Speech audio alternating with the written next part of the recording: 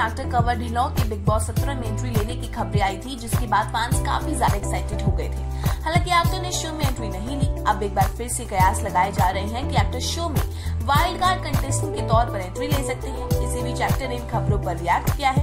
उन्होंने इन खबरों को सिरे से नकार दिया है। दरअसल एक बातचीत में उन्होंने कहा कि बिग बॉस में मेरे पार्टिसिपेशन की खबरें बेसलेस है। इस तरह की खबरें मेरे फ्यूचर प्रोजेक्ट्स पर असर डाल रही हैं, क्योंकि मेकर्स को लगता है कि मैं फिक्शन शोज़ के लिए ऊपर नहीं हूँ। क्योंकि मैं बिग बॉस में जा रहा हूँ। पिछले महीने लगातार मेरे घर के अंदर जाने की खबरें थी और अब वाइल्ड कार्ड को लेकर भी अफवाहें फैल रही है। फ़िलहाल इन खबरों में जरा भी सच्चाई नहीं है, इसलिए मुझे क्लियर करना था कि मैं रियलिटी शो में हिस्सा नहीं ले रहा हूँ। जब कवर से उनके फ्यूचर प्लान्स को लेकर पूछा गया तो उन्होंने कहा कि मैंने अभी तक कोई फिक्शन शो साइन नहीं किया है।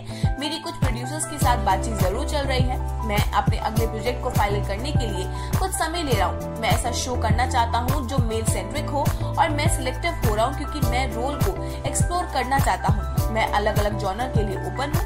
आपको बता दें कि कवर को पांडे शो में शिवा के रोल के लिए जाना जाता था। इस शो में वो एलिस कौशिक के अपोज रोल में थे।